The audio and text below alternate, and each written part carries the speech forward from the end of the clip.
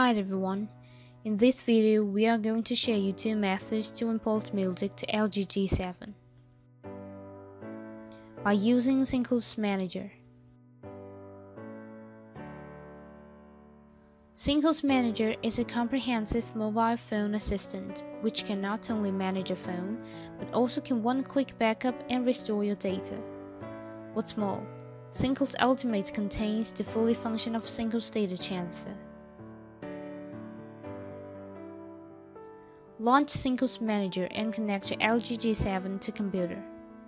Choose Media options. Wait for Syncios to sync. Click Add button on the menu bar. You can choose to import whole music folder or certain songs by choosing these two options. We first choose Add File here. Then you can choose multiple songs of your willing.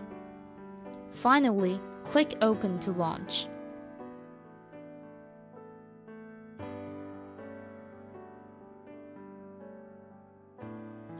Choose Add folder if you want to import whole music folder.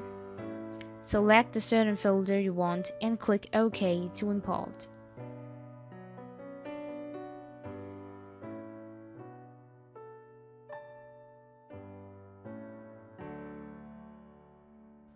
By using Syncios Data Transfer Syncios Data Transfer can transfer data across iOS and Android. Of course, Android to Android or iOS to iOS transfer are supported. You can also backup and restore your phones at any time you want.